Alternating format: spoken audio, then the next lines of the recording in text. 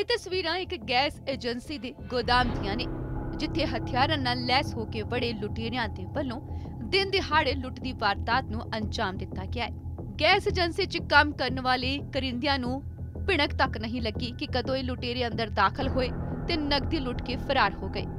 ਵਾਰਦਾਤ ਦੀਆਂ ਸੀਸੀਟੀਵੀ ਤਸਵੀਰਾਂ ਵੀ ਸਾਹਮਣੇ ਆਈਆਂ ਨੇ, ਜਿਸ ਵਿੱਚ ਇਹ ਤਿੰਨ ਲੁਟੇਰੇ ਨਜ਼ਰ ਆਏ ਨੇ, ਜੋ ਪਹਿਲਾਂ ਤਾਂ ਗੈਸ ਏਜੰਸੀ ਦੇ ਬਾਹਰ ਖੜੇ ਰਹਿੰਦੇ ਨੇ। ਅਤੇ ਫਿਰ ਮੌਕਾ ਦੇ ਕੇ ਅੰਦਰ ਦਾਖਲ ਹੋ ਜਾਂਦੇ ਨੇ।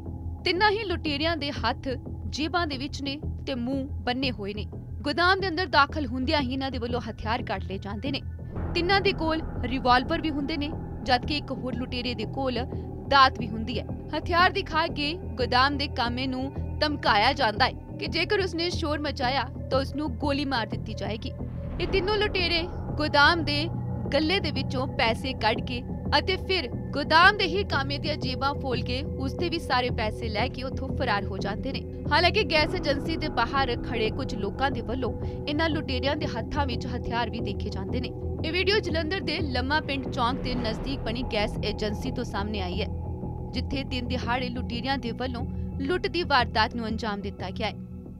ਗੋਦਾਮ ਦੇ ਮਾਲਕ ਵੱਲੋਂ ਪੁਲਿਸ ਨੂੰ ਇਤਲਾਹ ਕੀਤੀ ਗਈ ਹੈ ਅਤੇ ਪੁਲਿਸ ਦਾ ਕਹਿਣਾ ਹੈ ਕਿ ਜਲਦ ਹੀ ਇਹਨਾਂ ਲੁਟੇਰਿਆਂ ਨੂੰ ਕਾਬੂ ਕਰ ਲਿਆ ਜਾਏਗਾ। ਸਾਨੂੰ ਬਸ ਦ- ਅਹ ਪੌਣੇ 3 ਵਜੇ ਸਮਝ ਲਓ ਜਿੱਦਾਂ ਘਟਨਾ ਹੋਈ ਹੈ। ਸਾਨੂੰ ਉਸੇ ਟਾਈਮ ਫੋਨ ਆਇਆ। ਤੇ ਅਸੀਂ ਉਸੇ ਟਾਈਮ ਆਏ ਇੱਥੇ ਜੀ।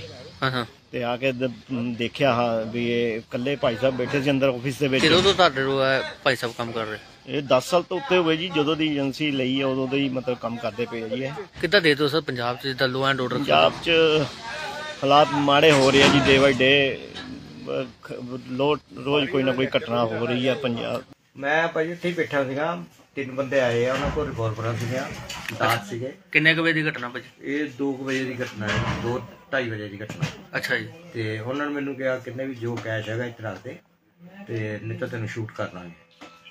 ਨਹੀਂ ਤੇ ਤੁਹਾਡੇ ਏਜੰਸੀ ਦੇ ਵਿੱਚ ਕਾਫੀ ਬੰਦੇ ਕੰਮ ਕੁਮ ਕਰਦੇ ਹੋਣੇ ਕਿੱਥੇ ਸੀ? ਹਾਂਜੀ ਕੰਮ ਤਾਂ ਕਰਦੇ ਆ ਲੇਕਿਨ ਉਹ ਹੁਣ ਬਾਹਰ ਬੈਠੇ ਸੀ ਔਰ ਕਿਸੇ ਦੇ ਖਿਆਲ 'ਚ ਨਹੀਂ ਉਹ ਇਦਾਂ ਮੂੰਹ ਪਿੱਟੇ ਸੀ ਉਹ ਪਹਿਲੇ ਇੱਕ ਆਇਆ ਫਿਰ ਦੋ ਹੋਰ ਆ ਗਏ ਤਿੰਨ ਜਣੇ ਸੀ ਟੋਟਲ ਅੱਛਾ। ਉਹ ਕਿਸੇ ਨੂੰ ਸ਼ੱਕ ਹੀ ਨਹੀਂ ਪਿਆ ਉਹ ਕਹਿੰਦੇ ਵੀ ਸ਼ਾਇਦ ਉਹਦਾ ਕੋਈ ਡਿਸਕਸ ਕਰਨਾ ਹੈ ਜਿੱਦਾਂ ਕਨੈਕਸ਼ਨ ਵਗੈਰਾ ਚੱਲਦਾ ਵਾ ਮੋਦੀ ਦਾ। ਤੇ ਉਹਨਾਂ ਨੇ ਕਿਹਾ ਸ਼ਾਇਦ ਵੀ ਫ੍ਰੀ ਵਾਲੇ ਕਨੈਕਸ਼ਨ ਦਾ ਕੋਈ ਪੁੱਛਣਾ ਹੈ ਜਾਂ ਕੁਝ ਗੱਲਬਾਤ ਕਰਨਾ ਹੈ ਅੱਛਾ ਜੀ। ਇਹ 2:30 ਵਜੇ ਦੀ ਘਟਨਾ ਹੈ ਜੀ। ਅੱਛਾ ਜੀ। ਫੇ ਉਹਨਾਂ ਨੇ ਕੀ ਗੱਲਬਾਤ ਕੀ ਕੀਤੀ ਤੁਹਾਡੇ ਨਾਲ ਸਰ? ਬਸ ਉਹਨਾਂ ਨੇ ਬਸ ਇਹੀ ਮੈਨੂੰ ਰਿਵਾਲਵਰ ਦਿਖਾਈ ਹੈ ਤੇ ਮੈਨੂੰ ਕਹਿੰਦੇ ਵੀ ਜੋ ਕੈਸ਼ ਹੈਗਾ ਚੜਾ ਦੇ ਉਹਨਾਂ ਨੇ ਕੈਸ਼ ਮੈਂ ਮੈਨੂੰ ਕਹਿੰਦੇ ਜੇ ਰੌਲਾ ਪਾਇਆ ਤੇ ਤੈਨੂੰ ਸ਼ੂਟ ਕਰ ਕੈਸ਼ ਕਿੰਨਾ ਸੀ ਕਿੰਨਾ ਗੈਸ ਸੀ? ਕੋ 2 ਲੱਖ ਦੇ ਕਰੀਬ ਸੀਗਾ। ਅੱਛਾ ਜੀ। ਉਹਨਾਂ ਨੇ ਆਪ ਹੀ ਗੱਲਾਂ ਖੋਲ ਕੇ ਵਿੱਚੋਂ ਸਾਰਾ ਕੱਟਿਆ ਮੇਰੇ ਪਰਸ ਪੁਰਸ ਜੋ ਵਿੱਚ ਪੈਸੇ ਸਾਰੇ ਕੱਢ ਕੀ ਕੀ ਹਥਿਆਰ ਕੀ ਕੀ ਸੀਗੇ ਉਹਨਾਂ ਕੋਲ? ਉਹਨਾਂ ਕੋਲ ਰਿਵਾਲਵਰ ਸੀਗੇ ਤਿੰਨਾਂ ਕੋਲ। ਅੱਛਾ।